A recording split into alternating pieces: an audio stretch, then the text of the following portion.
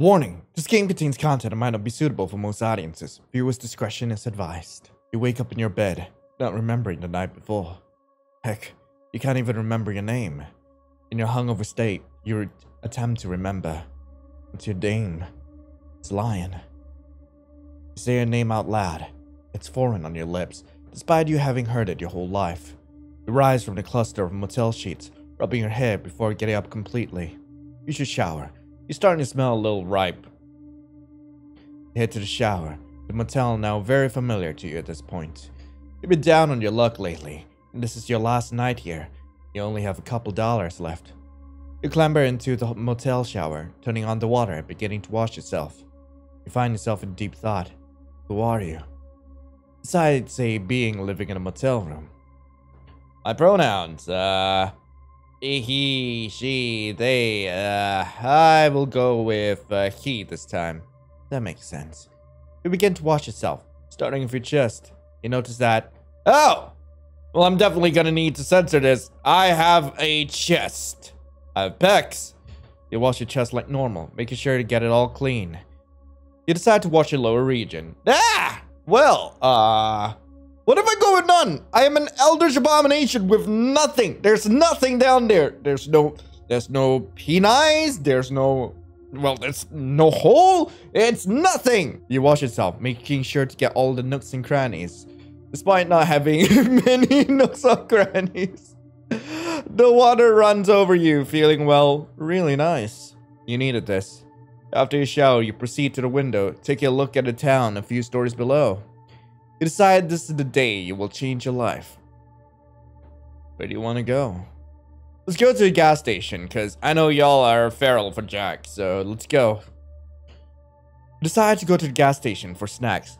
Might as well put those last couple of dollars to use.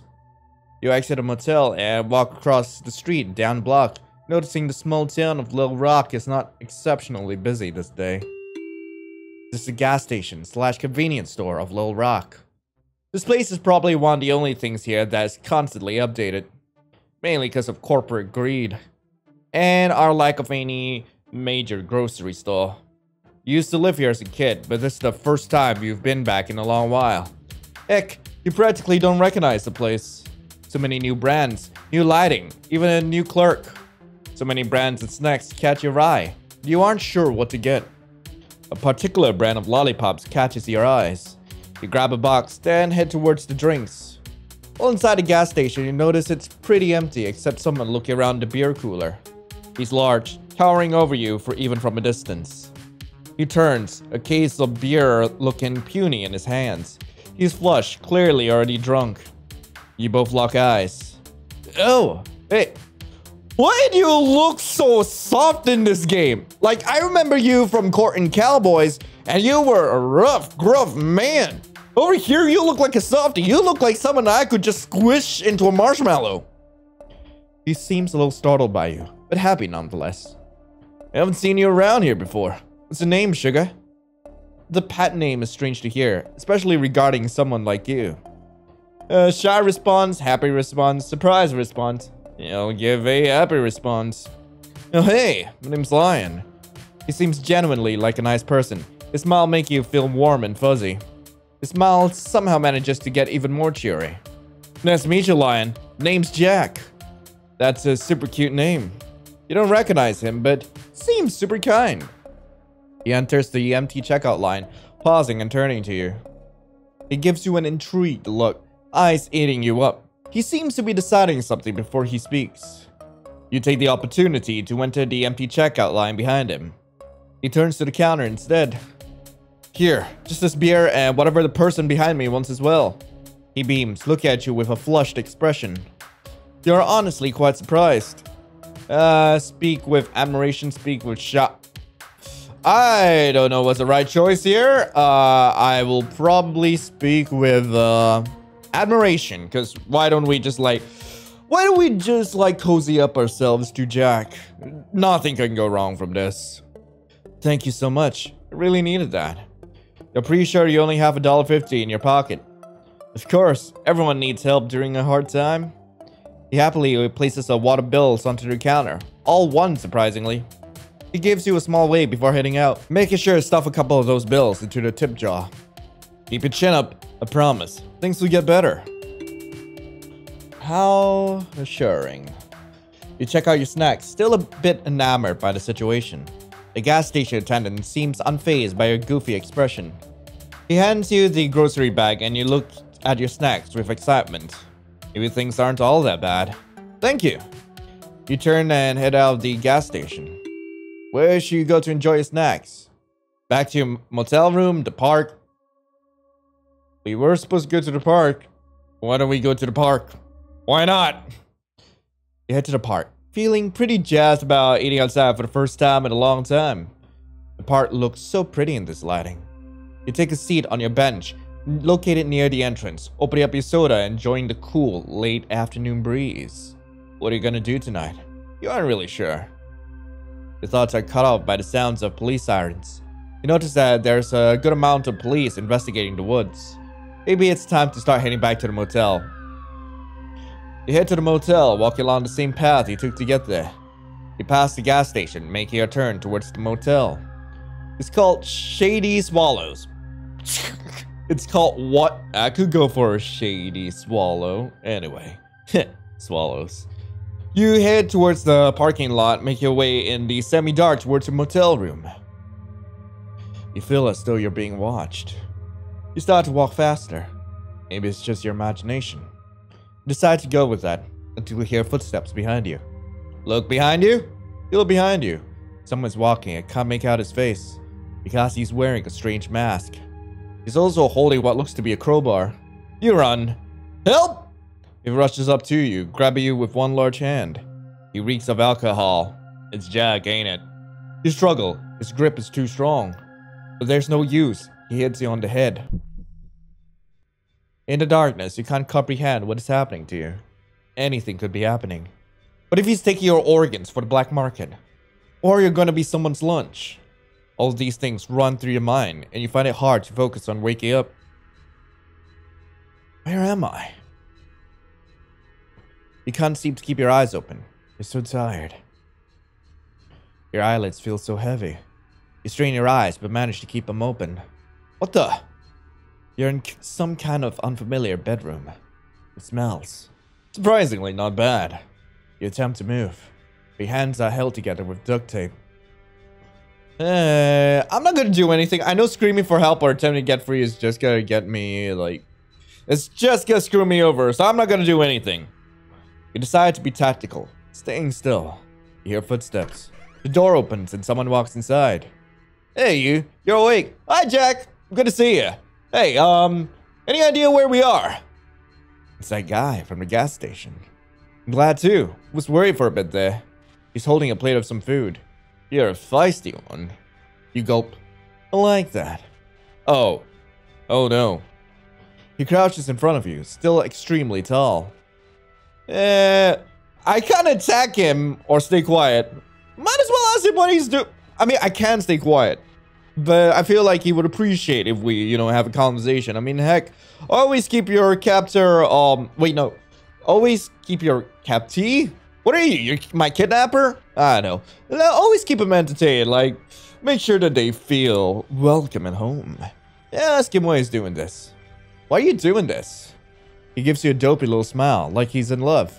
Well, I just knew I'd ha have to have you as soon as I laid eyes on you.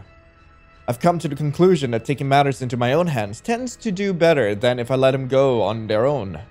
He lets out a small little sigh, as if he's had to explain this a few times. This is the easiest way to make sure you're mine. Your nose picks up on the aroma coming from the plate in its grip. It's a bit dark, but you think it can make out chicken tenders on you made chicken tendies? Thank you, Jak. Maybe some packets of sauce on the side. And french fries. Your stomach rumbles with anticipation. Jak watches you before taking a seat, crisscross in front of you. He seems eager to feed you. You hungry? I don't what you like it. And I'll admit, I'm not the best cook. But these kind of foods seem pretty safe. He sort of shrugs. Eh, except food. I mean, I, I ain't vegetarian, and heck, who am I to refuse like a good meal? You look over at him with interest. You were so hungry. Smells good. I'm glad. Here.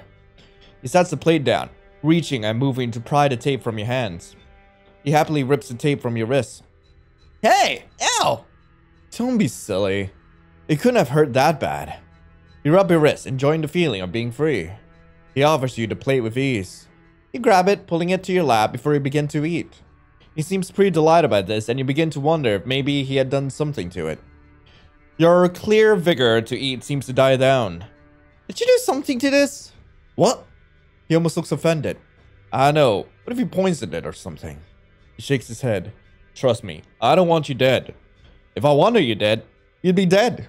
He shrugs. He startles you a little, but you begin to eat. It's weird having someone watch you eat. Have you not uh, had dinner with someone before? I mean, it happens from time to time. Thank you. Of course. I can't have you starving on me. I need you. He laughs softly. To keep your figure, of course. He blinks a few times before getting a hold of himself. You gulp, continuing to eat your fries. Do you have any water? Uh, he looks around before turning to grab something from his bed.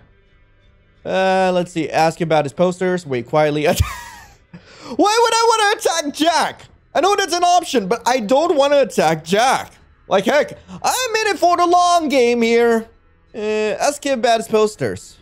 Oh, those. He roots around for something on his bed before instead finding whatever it is on the side table. He sits down uh, right in front of you. They're just things I like. I like scary movies, and I've liked Batman ever since I can remember. He sort of shrugs awkwardly. The other stuff is mainly things friends have gotten for me. This artist I knew from college gave me those drawings. You find yourself nibbling on fries as he speaks. He's actually quite charming. So I put him up. And other things. He sighs a little, giving you a warm smile. He offers something to you. It's an energy. Jak, you know exactly the weight of my heart. It's not exactly water. He seems embarrassed, but attempts to keep his smile. I'll be honest.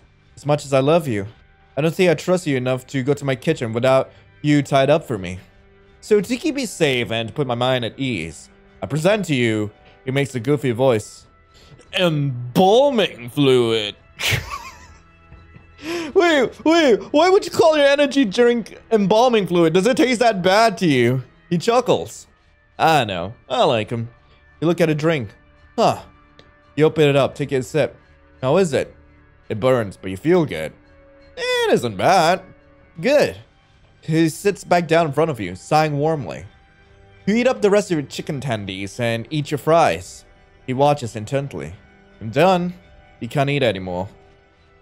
It, it was as tasty as great value chicken tenders can be. He takes the plate, sitting up with a small smile. He leans, duct taping your hands back together. There we go. I was thinking we could watch a movie. I don't know what you like, but I was thinking we could browse and find something we both enjoy. He's acting like you've been dating for years. You know what? I'm gonna go along with it. Well, why would I? Why would I not respond? I would love to watch a good horror movie right now. Decide to play along. Well, we'll have to take a look. You tap a smile, trying to convince him. He falls for debate. Yeah, sounds good. He leans ahead, grabbing your shoulders and hoisting you up to stand. Your legs feel like jello. Can you walk?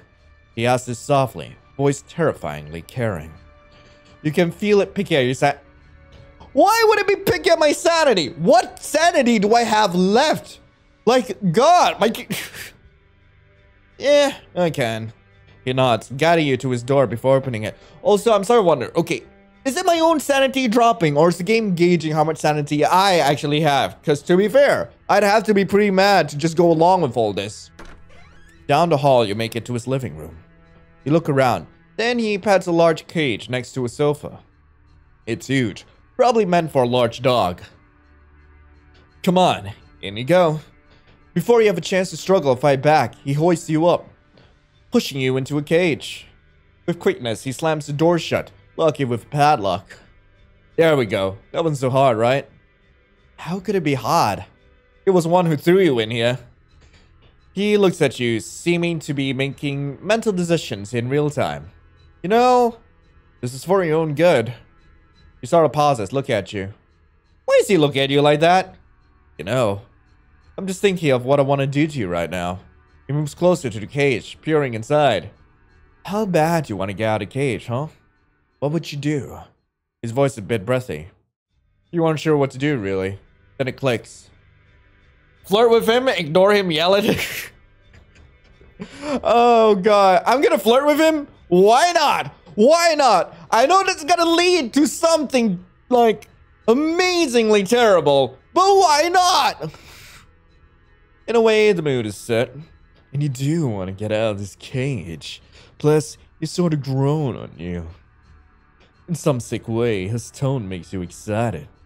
I'd do anything, Jak. Your tone is what makes him so delighted. Oh, really? Anything. He pulls you out of cage, hoists you up against his chest. First thing he does is sort of admire you. Anything, huh? He retrieves something from his pocket, holding your wrist behind you as he pushes. A knife blade? Right through the tape, he puts the knife back into his pocket, ripping the tape off your wrist. Then he tosses you onto the sofa, causing you to bounce a little on impact. It smells a little like cigarette smoke and weed. Maybe like some sort of body spray too. Oh, you watch as he pulls his shirt off. Clearly the kind of guy who doesn't like much restriction. You sort of flinch, but he clearly isn't done. Yay! then he gets on top of you with ease, pinning you beneath him. You know, I've been imagining this moment since I laid eyes on you. He reaches down, grabbing your thighs. You shudder, realizing what you got yourself into. You're so perfect for me. His hand moves, one holding himself over you while the other pulls up your shirt. His fingers dance along your smooth chest before he smirks at you. You're so cute. He grabs the collar of your shirt, and with a loud rip, he pulls hard, it tearing along the neck hole and downward. I hope he at least prepared like a little rip down like the front, otherwise that would have hurt. Hey! Shh. He saw it laughs before pulling the now ripped fabric off of you. Much better. Your heart beats fast, and strangely enough, you feel exposed despite having nothing. Like, heck, there's nothing down here, there's nothing down there. Like, I don't know what he's so excited for. There's nothing. There's nothing there. He stares in awe as he pulls his pants back up. You're perfect. His voice is almost like a growl, making you feel weird. He looks from you to the cage as if deciding something. Please don't put me back in there. You see his expression sort of softens. He reaches down, pick you up, and take you back over it. Also, yes, I did skip a scene. Yes, if you guys do want to see that, despite the lack of parts, there is nothing down there for me. Hey, uh, you can check it out on my Patreon. But anyway, he pushes you back in, shutting the gate behind. Why? Why? I did everything asked, and it's not like I'm gonna like run. It's not like I'm gonna like attack you midway through. I mean, heck, like anyone else playing this might, but not me. I just like I just want to have a good time, Jak. I just want to watch the goddamn movie, maybe grab some popcorn, maybe like have a sip of some soda if you got any. Gosh darn it. Being in the cage is so much different when you're naked. You shiver. Hey, I thought that I thought that meant I wasn't gonna get locked in you. He shrugs, giving an apologetic smile. Well, I promise. I'll make it better. He turns, disappearing a moment down the hall. Will at least leave me a couch in here so I wouldn't have to freeze my butt off? What the frick? Did any of that mean anything? He comes back with a blanket hand and a pillow. I appreciate it. I would appreciate more if I wasn't in a cage. Here. He opens the cage, only to throw in a blanket and pillow. Better than nothing, right? Thanks. Though you don't sound very thankful. I'll see you in the morning, alright? He keeps staring at the cage floor, wrapped up in the blankets. Then he turns off the lights. The idea of sleeping here hurts. You'd much rather be... Wait. Your hands are free! He didn't replace the tape. At your newfound freedom, you quickly attempt to escape the crate. You stick your fingers through the holes, attempting to fiddle with a padlock. But you find that you're struggling to... Maybe if you just... Shove your hand through the bar? You shove hard, your hand slipping between the bars. Oh shit. Your wrist is pinched between the bars, but you just continue to try and get the padlock off somehow. You feel a bead of sweat roll down your forehead from the intense feeling that you might escape. After a few moments of trying, you realize the attempt is useless. Your hand is stuck. How will you get out of the bars? You try to pull at first, but it shakes the cage. That's a bit too loud. You shiver, reaching slowly with your free hand, trying to pull the bar so you can pull your hand out. It doesn't seem to work. Your wrist starting to turn red from the pressure. Shit. You gulp, starting to panic. How do you get out? Your arm up and... Your arm up and twisted strangely. Strangely uncomfortable. Yeah, screw it. You pull hard with a strange rattle. Your wrist is freed from the boss. Yeah, frick. You clutch it to your chest quickly. It hurts. You curl up, letting out a small breath of pain. You must have dislocated it or something. What a mistake. You need more sleep. How else would you have a clear mind to get the frick out of here? You squeeze your eyes shut, hoping that does the trick. Your mind is buzzing with all this information. It slowly starts to drip away. Then you fall asleep. Lion. What was that? Lion! You're being touched? Lion! What? You sit up, realizing the cage door is open. Hey, Sugar. Missed you. Seems to be holding something. Got you some clothes. Oh, thanks, Jak. I needed that. They'll probably be big on you, but that's alright. We can focus on getting you a proper wardrobe in the future. He holds a hand out, as if to offer to help you out of the cage. I'll take his hand. Reach out for him, and he takes your hand, pulling to help you out. His eyes widen. He pulls you close, holding up your hand. He seems to examine it, noticing a large dark bruise. You wince at his grip. How did you get... How did you get these? I'll be honest. Ugh. Uh, got my arm stuck in a cage. When I pull it out, I guess I managed to sprain it. Well, we'll have to figure it out together, yeah? Looks like it's just a sprain which means there's not much we can do. My dad would have just told me to rub some dirt on it. He saw laughs a little, letting go of your hand. Sighed relief. I was gonna have you help me make breakfast, but with your hand like that, it would just be silly. You get dressed, honey. I'll make us something to eat. You feel strange with his pet names. Why did you like that? Disappears into the kitchen, leaving you alone in the living room. The clothes are sloppily folded, resting on the arm of the couch for you. You put them on, nervous as you watch him. Take a seat. I'll make you something to eat. You find yourself staring at him as he heads into the kitchen. Uh, should I follow him to the kitchen? I have no idea. Uh, yeah. You aren't sure what it is, but you decide to follow him instead. You went to the kitchen, watching as he seems to to be preparing two large bowls of cereal. It's a sweet kind, sort of stuff that'll rot your teeth out. He's humming, he's humming some pop song you can barely remember finally notices you, turning to face you. Hey, Sugar. He looks you over, turning his head a little. What's wrong? You weren't even sure why you came in here. He watches you with kind eyes, a soft concerned expression despite the ever constant smile.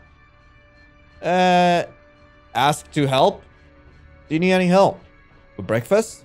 Nah, I'm fine, love. You both sort of look at each other. Like some sort of screwed up staring contest. He looks over you. What is he thinking? He looks away, putting something back into the fridge. Then he walks up to you. He leans, so he's eye level with you. A strange little smile is playing on his lips. You've come to know that this is his thinking face. You're cute, Lion. He reaches out, giving your cheek a soft squeeze before standing straight. I like when you're all like this. How sweet. He sort of laughs. Really reminds me that this was a good decision. He offers you a bowl of cereal. Your stomach growls. Go to the living room with this. I'll sit with you. You listen to him going to the living room with your bowl. You aren't sure what to do. You sit down, waiting for him to accompany you. He comes up, a bowl in his hand as he sits. You watch him as he takes the first bite. As you both eat, you can't help but notice the striking size difference between the two of you. His bowl looks normal sized in his hands, and he pauses at the TV remote before grabbing it, turning it on. Some sort of game show is on, but he isn't pleased as he clicks through some of the channels. You don't seem to recognize any of them, and you wonder if it has to do with the strange box hard drive plugged into his TV. He pauses on one, loud bouncy music playing as he debates. There are three panels. Three people seem to be arguing as the announcer continues to raise the bid. Bid? Before he can continue watching, he flips through a couple more, stopping on the price is right. Wait, was that a reference to uh, the price of flesh? Would be pretty interesting actually, like if that was a reference to that. You eat the cereal. The sweet crisps and marshmallows hit your tongue. It's, well, delightful. You really needed this.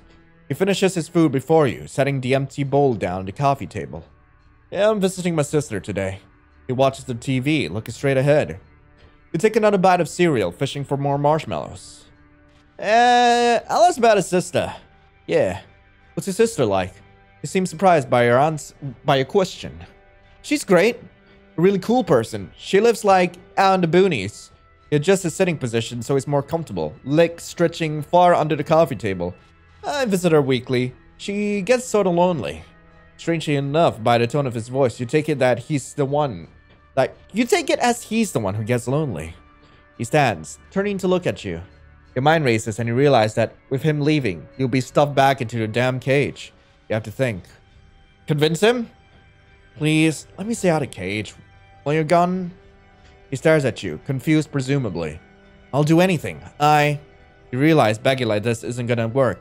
He thinks you like him back. You decide to switch up your pitch. I could get the dishes done, of course. Maybe some laundry. I can't help out around here if I'm stuck in a cage, right? He stares a little. You're right. I'm trusting you, okay? He walks up, giving you a small kiss on the cheek. Be good, okay? He heads out the front door, the way he shuts it, shaking the house. You stand awkwardly. What do you do? Eh, look around. You decide to look around the small house. Firstly, you go to the living room again. Then you look around the kitchen. Then his bedroom. As you're walking, the floorboards squeak beneath the carpet. You dig around, snooping as you look for anything that could help you. Then you find it in his dresser. A gun. It'll be good. You have to be a good boy, right? You wouldn't want to disappoint him. What the frick? You shake your head. There's no way. He's getting to you, that's all. You're done exploring. You leave the gun, heading back to the living room. Your legs feel so nice when they aren't cramped up in that cage. You collapse on the sofa, feeling sort of exhausted. Maybe you should get some sleep. You remember what you told him, though. It's too late. You're out like a light. When you wake up, you find a warm body next to you. Jak is also asleep, arm curled around you. It's comforting. You snuggle closer without a second thought, falling asleep in his arms. You survived! He never knew. Huh. Okay, we're gonna get just one more ending out of this, which is like, what happens if we grab the gun? So, hey, let's go back. Let's be naughty. You pick it up. Your heart beats. It's really heavy, so it must be loaded, right? You look around before hiding it in your waistband. You decide. You continue to walk around, exploring the house before deciding what to do. When you're back in the living room, you take a seat on the couch. What to do? You turn on TV, flipping through some channels. You wonder what sort of cable box this is. Some sort of shows seem perfectly normal, others are just Val and Pearly put together. Some of the stuff you see, you convince yourself is just a horror movie playing. As you flick around, you land on some Hallmark movie, done in English. You also notice he uses English subtitles. You wonder why. Won't matter. You hear him fiddle with a lot before opening the door. You watch, hand holding the gun. He looks at you. What you doing? Get a little excited? You notice with how your hand is in your pants, this all looks strange. You whip out the gun, quick to aim it at him. His smile drops, but it's a delayed reaction, as if he had to put some thought into it. What are you doing, sweetheart? You gulp. Your finger slams the trigger, firing the gun without a second thought. It hits him in the chest. Wow, I... I didn't... He coughs. I didn't expect you to do that. He saw just stares at you. Don't you love me? He's crying. Or laughing. He can't really tell as he sinks to his knees, then collapses to the floor. He's still breathing. A large puddle of blood begins to bloom. He's going to die. You shoot again. You won't let him live. Nope. You survive. One shot, two shot, three shots, four shots. All I hear is gunshots. This is where the fun stops. Bodies drop, hit the floor, music's off, party stops, everybody hit the door, someone's somebody's licking shots. Well, Damn. Anyway, that's all for Lover's Trophy. I really hope you guys enjoyed it. If you guys want me to come back uh, for part two of this, where we go through the other guy's route, I forgot what's his name. Just let me know in the comments below. I might be exploring more murder sims soon enough. Uh, of course, like these games are for those who are 18 and above. So if you aren't of that age, like heck, please uh, refrain from playing these. I mean, they are a lot more intense than we make them out to be. But anyway, thank you all so much for watching. I hope you all have a lovely rest of the day and as always, I'll be seeing you in the next video. This is Lion, signing off. Ciao.